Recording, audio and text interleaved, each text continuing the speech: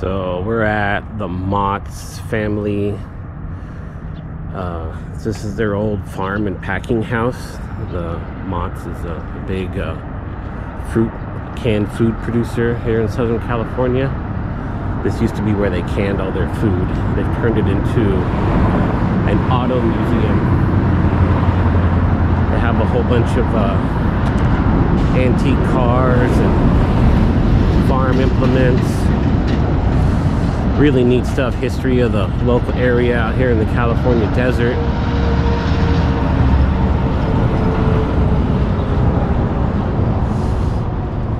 I've been here once before um, coming back specifically because they had a car very similar to the one I just picked up. And I would like to see how they set up the suspension on that thing because mine seems to be missing some parts got their old windmill. All right, so we're gonna walk into the Mott's Family Automotive Museum. This is our entrance. They have a lot, little patio right here. For they have a little restaurant inside. It's just a snack bar, really. So upon entering, we get the 1910 Ford T Speedster. It was a mass produced. Look at this guy. This was a vintage race car back in the day. I, I did. I, I know. We get to walk all the way around it. After uh, the 31st of the month, but it was nine five twenty three, and I, and, uh, and I, you know what? It just- they got- they really screwed up down there. And I, I, I worked for a city. All the brass work. Look at the windshield. That's just amazing. Anyway, it's, uh, Maria Matthews, P.O. Box What the heck? The wooden wheels. Wooden wheels. It's amazing. So, and you guys think Tesla invented the electric car? Look at this right here. 1924 electric Model T. The electric motor was a uh, $75 option. Look at this, no radiator, just a Model T. It's all electric, you just plug this thing in. Little wood box in the back.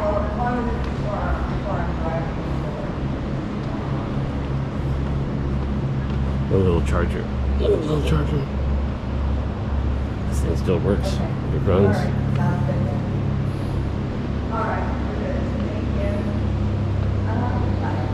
Oh, this one has the wire wheels.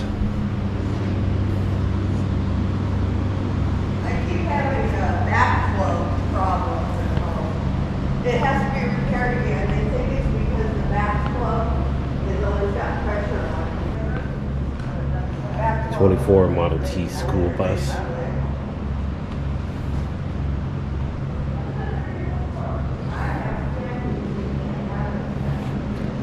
the old brass fire extinguisher. I love this place. This is so vintage. Everything is vintage. Your driver's seat right there. Got your steering wheel. There's your gauge cluster. And then look, it's just a little wooden bench. Little back door exit. That's all it is. Bare necessities. That's all they needed.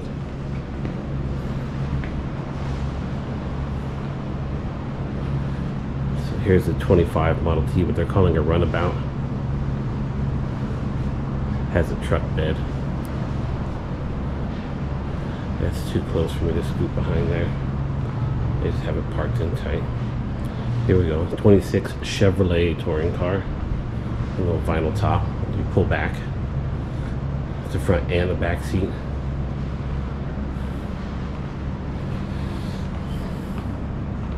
Twenty-eight Model A pickup truck.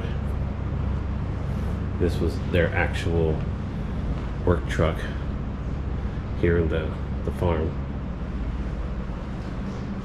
Actual work truck, farm truck.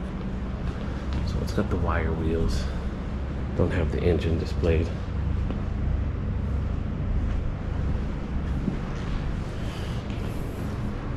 So now we're getting into the more vintage car. This is the 1928 Packard 4-43. 28 Packards. Look at this. One, two, three, four, five, six, seven, eight. Straight eight on this Packard. This thing. This was the lap of luxury back in the day. This is just how. Look at those seats. That folded over seating. Look at that. All that wood grain on the steering. The gauge cluster. And this is car you could be driven in. These back doors, the suicide doors, they open up and you just slide right in. The size of those rims and those white walls. Oh my gosh. This was a elegant, elegant car. Especially for its time.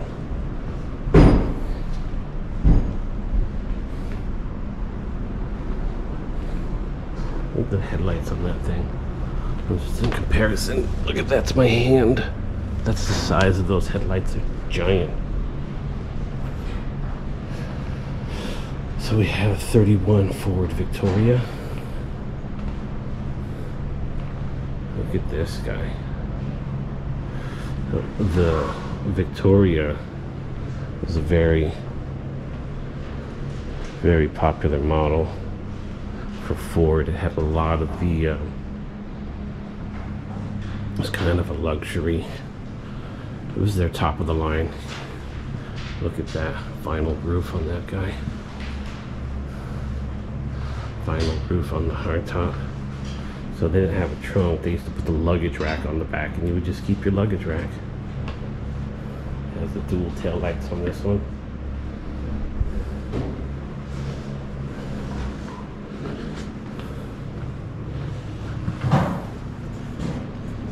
Wire wheels. Let's look at the interior. So compare this to the Packard. This is, I think this is a 30, 31. What is this? Yeah, it's a 31 Victoria. And you compare this to the Packard. This is like three years newer and it's nowhere near as elegant or luxurious. Now we're going to compare this 31 Victoria, which is basically top of the line for Ford. If you want anything nicer, you'd have to get a Lincoln. And go to this 31 Cadillac. Cadillac V8. So this would be the Cadillac Flathead V8. I'm pretty sure. It's a hot rodding legend. Cadillac Flathead. I saw this one.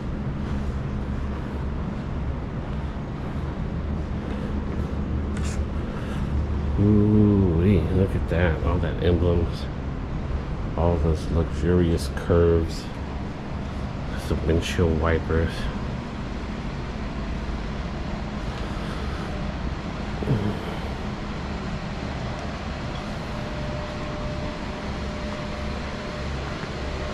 So they turned the back seat into a rumble seat. Now, I've been told that rumble seats are very uncomfortable, but this one seems to have a lot of leg room. I like the look of it, it's just the style.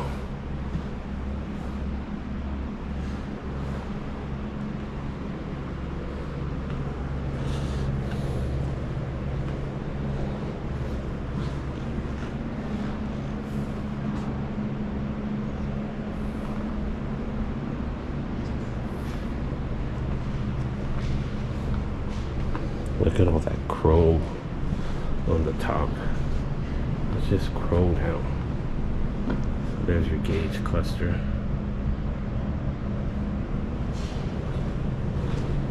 It's got a spare tire on each side. Look at that engraving. Oh wow, that's so pretty. So, so pretty.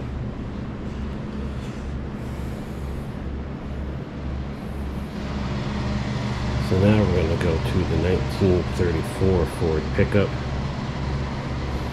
It says Moss Brothers Garage on it.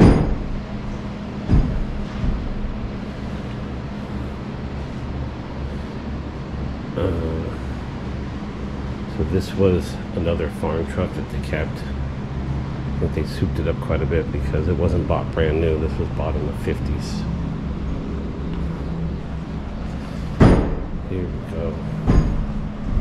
Look at that flathead. Wow. I do not believe that to be the original flathead. I think that is. Let's see. One, two, three, four, five, six, eight, nine, ten. Oh, that is the 21 stud. That is the original flathead. Oh, so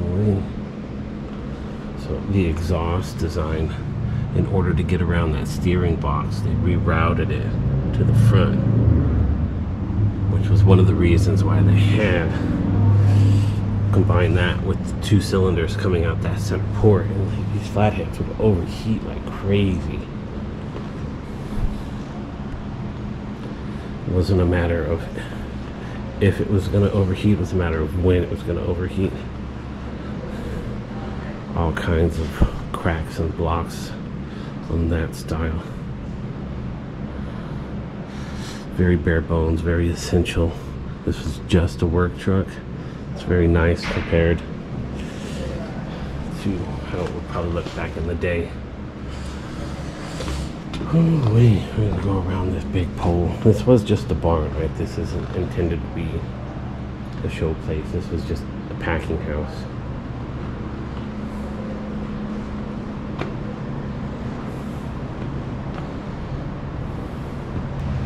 And we're going to do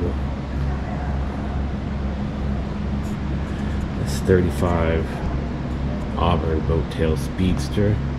I spoke with a gentleman about this car when I was here before. He said it took 30 years to restore this car. 30 years. This has got the original engine in it. It's supercharged. This is just a gorgeous car. Look at all these. Just the way the light just shines off of it. It like glistens. It's, it's like the car has glitter on it. We usually just, you know, regular old light bulbs. These aren't like show lights. This is, oh, I love this car. Little wing windows on the side here. Here's our little dash plaque on there. Auburn Crosley.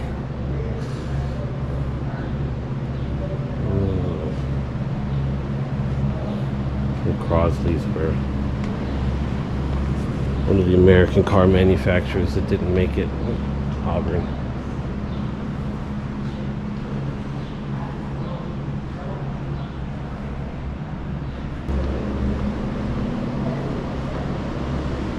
36 Plymouth. Look at the way the car's evolved.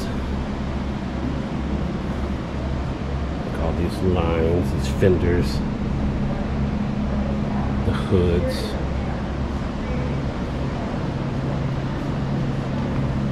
You got those big old headlights. It's very popular. The wheels, the, the artillery style wheels, so that's what we would call that anyways. I don't know if that's actual artillery style, but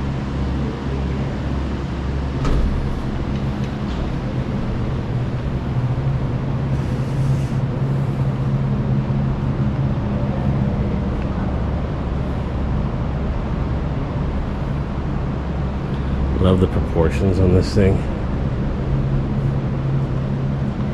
See if we can see through the glass. I think the driver's side is rolled down. Let's see if we can walk over there.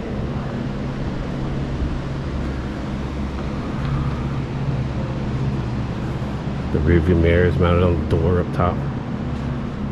Oh, there we go. There's, we can't really see anything.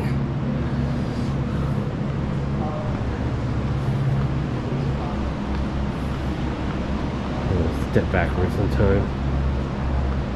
26 Franklin. This is a giant car. This car is giant.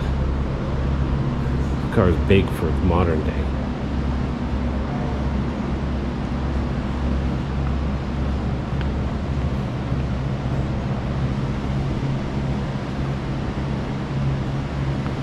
Let's take a look at this. The lighting's much better over here. Take a step back.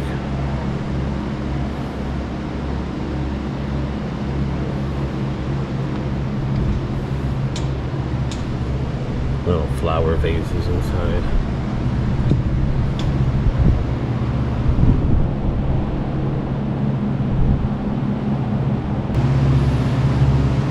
This is a 1937 Packard V12. Ooh. Packard Swan logo right there. Look at the grill on this thing.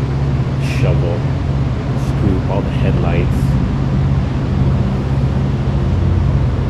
Our bullets turned into torpedoes and they got little fins on them.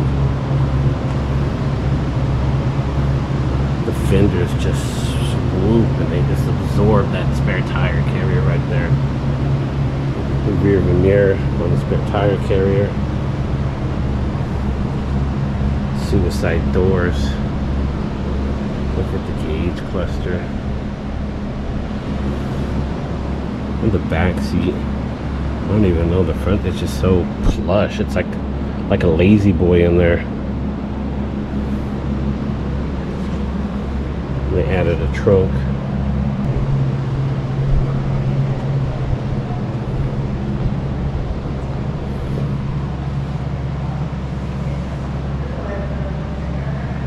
It's just backed up.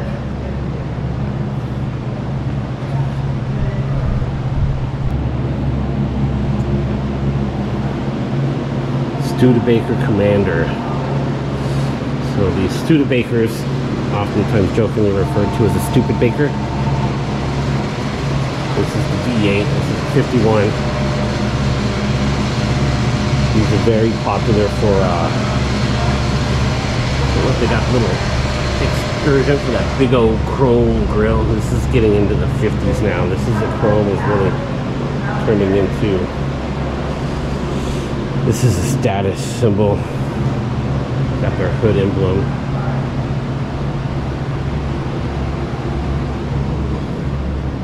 Look at the interior design. This is very functional. Gauge clusters are looking a little bit more modern. The window trim is chromed out. This is like a basic sedan. This is what somebody would drive to work. Cars are getting bigger and heavier. Alright, so this is a 43 Jeep. They call the Burma. It's a military issue. It's just a big truck. Essential. So they got the jump seat right there. Be the gunner. just a big pickup truck. Jeep style. Look a winch on that guy. Ooh wee.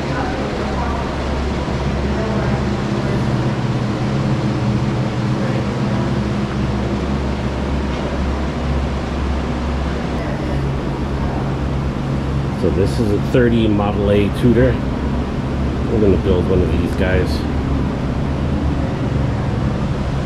Ours is to be more hot rodded and less of a restoration.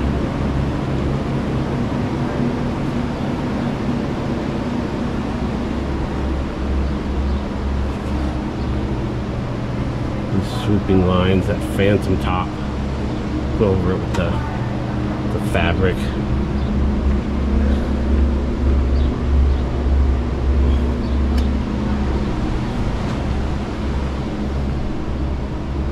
Basic interior This has been upgraded.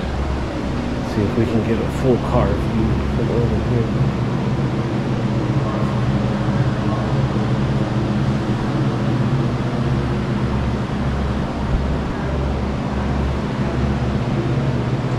It's a 32 Roadster.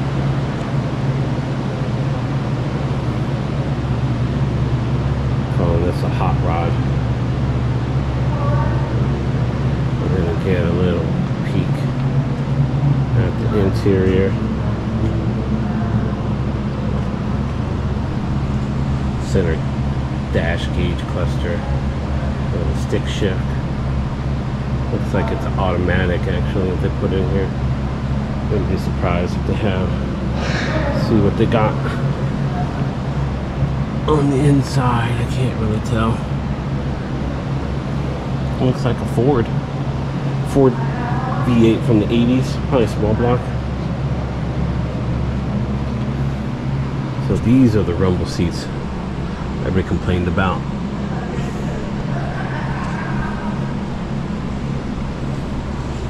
There's like no leg room in there.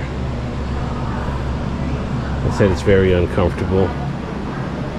So the only person you would put in there is somebody you don't like or a kid and you don't want a kid in your back seat or somebody you don't like in your car. So So this right here, I remember seeing this one. This is the reason that I showed up here. This is why. This is a vintage Salt Lake Racer.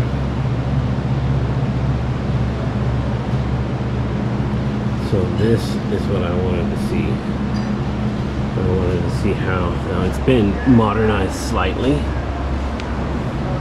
where normal shocks would be. They put the coilovers on there. But what I really wanted to see is how they mounted that flat head in there. Oh, they just tucked it up in there. Look at that.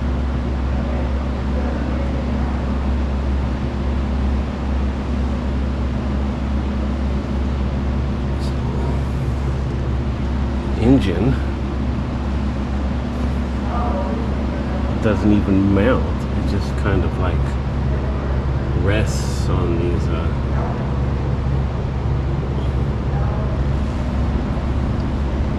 on these perches.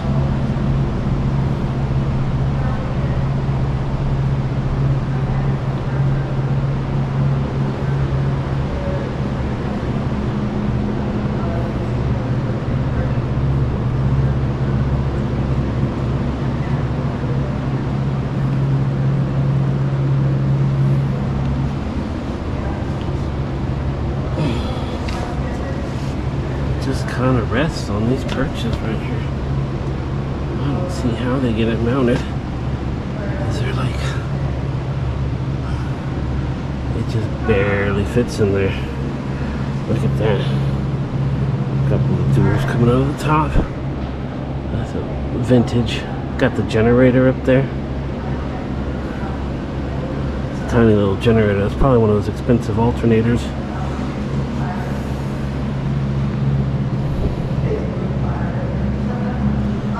Look at their seatbelt. That was their safety gear back in the day.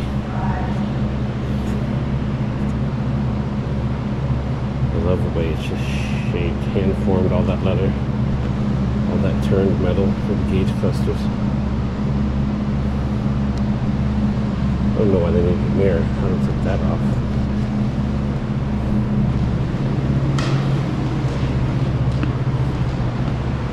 Let's go around to the rear end. So these guys just have one track bar, locator bar. There's one, bolts right to the frame. And they run it all the way back. And it just mounts to the axle right there.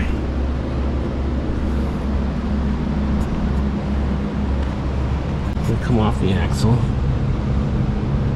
to a little suspension piece. That's all there is to it. They got these frame rails going all the way up, all the way back. This was the car that I wanted to see, but it's not really giving me the data that I want. Okay, we're going to continue our tour. 1950 Chevy Deluxe four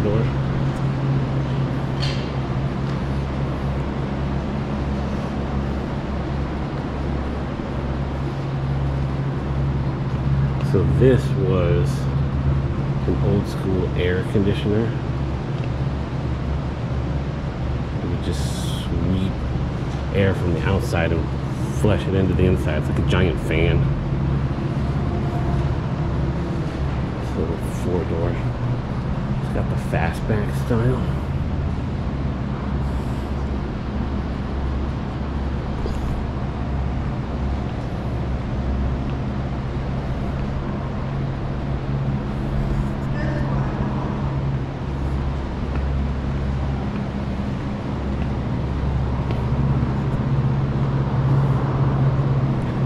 It's a nice little spot. Go, 58 Impala.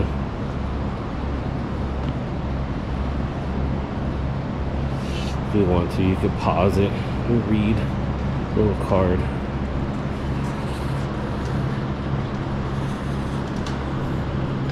This was Chevy's introduction to going to anything nicer than this. You had to get a Cadillac. These are super nice. Let's look at that interior. Oh, wow. It's your gauge cluster. Little fuzzy dice. Nice little addition. Oh man, I love this thing. Never really been a Chevy guy, but this is pretty. I know. It's just everybody had one. I've always been more want to be different, want to be unique. Everybody always had a Chevy, of course, because they ran. look at this. Oh, look at the lines on this bad boy.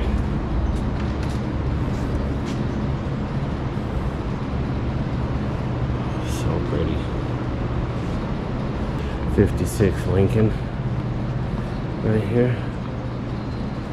Get your tag on that guy.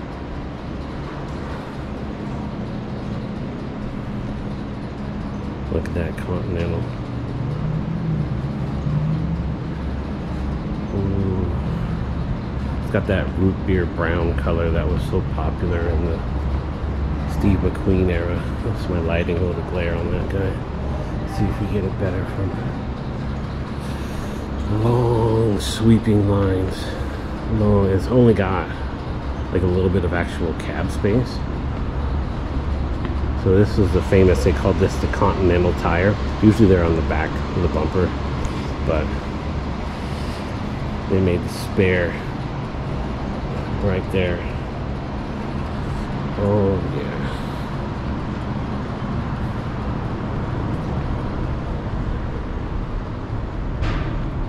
Oh, there's your dash cluster.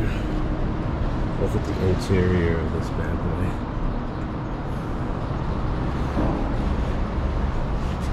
Tiny little mirror. You're not really worried about who's behind you in this thing. People see this coming. Back in those days, they just got out of the way. 60 Thunderbird.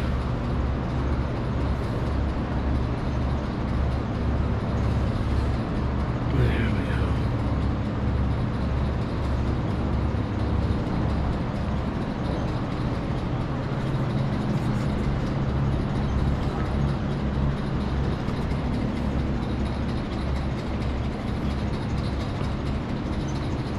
I love this thing.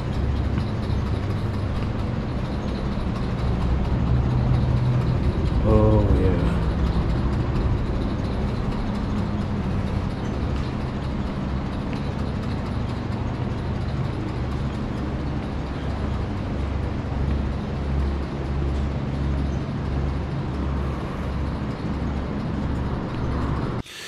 Well, I hope you enjoyed this video. yeah, we this footage actually we shot about two years ago, and uh, had a lot of um, more timely stuff. A lot of the, the um, times we go to an event, um, it's you had a very short shelf life, so we kept putting off the uh, publishing this video um because uh, everything else seemed to, to be a little more timely.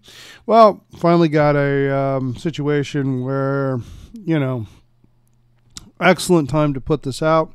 So the lovely people in the Motte Museum, um, very helpful, wonderful people, have done a nice job documenting um, the history of the Inland Empire, the agricultural history of um, the inland uh, Southern California, and um, have done a nice job sharing their passion with cars with other people who are passionate about cars. Anyways, um, if you enjoyed this video, please give it a big thumbs up. And uh, if uh, you haven't done so already, please subscribe. Really appreciate it. And we'll be back to a lot of our normal shenanigans and uh, tomfoolery um, in the shop. Got a lot of updates been working on. I know those are always never popular. And until next time, have a wonderful day.